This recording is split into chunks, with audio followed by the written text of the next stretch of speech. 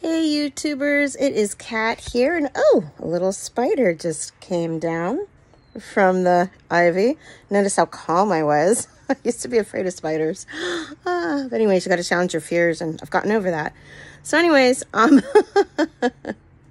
it's day 2 healing from the lip blush and as you can see the color right now has stayed. It will be normal to fade tomorrow the next day and start to come off before it comes back.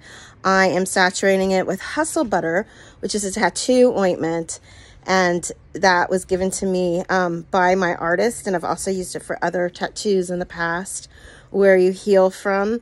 And it is completely healthy and food product. It's fine to go on your lips and so I saturated my lips in it. And I'm supposed to do that every 30 minutes um, during the day. And I'm also supposed to stay out of the sun as much as possible. You don't want direct sun on your lips when you're healing.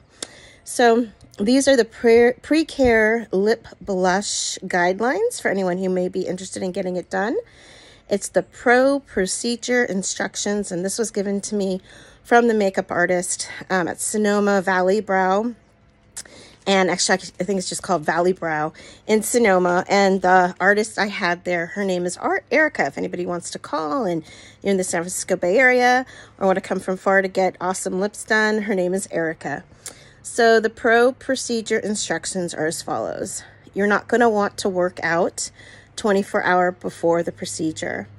And you do not want to drink alcohol 24 hours before the procedure. No caffeine the day of the procedure. However, side note, I had a morning procedure and it got out by the afternoon. By, so from 9 15, 9.30 until about 1.15, 1.30. And I asked when I was done if I could have a cup of coffee. And she said it was fine. So it might just be no caffeine the day of the procedure until you've had the procedure. But ask your own makeup, permanent makeup, semi-permanent makeup artist, of course. Um, for people who suntan, you want to avoid tanning one week before the procedure. For people who do Botox, two weeks before the procedure and two weeks after the procedure is the timeline. So if you do do Botox, make sure you don't have it within two weeks of the procedure. And after you've had the procedure, you can start Botox again two weeks after the procedure. Uh, it says for people who do fillers, six weeks before the procedure, you need to have stopped your lip fillers. And I don't know if it matters if you've had other facial fillers too, um, but it just talks about fillers, and I'm assuming it's for lips, but please ask your own makeup artist. And six weeks after the procedure, you can start fillers again.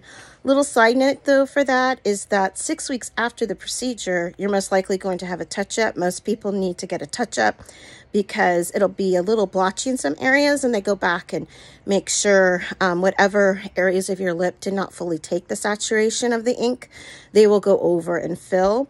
And then you can also have another pass or two of the color and you can have a different color or correct the color if you don't like it and you can correct the lining of your lips. So most likely it would be 12 weeks after the initial procedure if you're planning on having a touch up where you could do the lip fillers again for people who do them.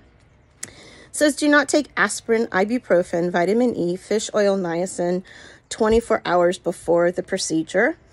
Um, and for people who are on retin A or retinol, for 60 days prior to the appointment, you need to avoid using and around, uh, it says, or around lip 30 days after the procedure.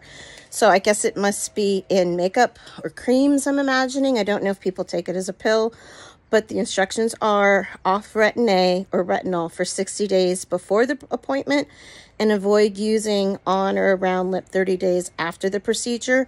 And it's said in the instructions because it could affect the pigment color fading.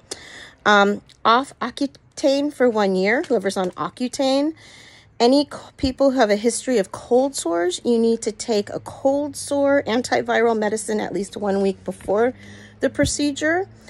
And to prepare your lips, you do a sugar scrub two to three days before the procedure. And I have another video on my playlist of and on my individual videos of sugar scrub and how to make it for this procedure.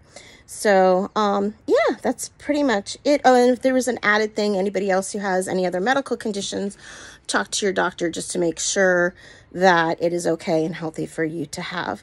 Okay, everyone, I hope this answers any questions. If you have any more questions about the procedure, I'm so open. I'm wanting to share and teach and educate people about it um, from my own personal experience. Feel free to leave a comment in the comment section if you want, or you can write me at kats7, the number seven corners, at gmail.com. However, if you want the best quick response time, it's going to be in the comment section below. Take care and God bless.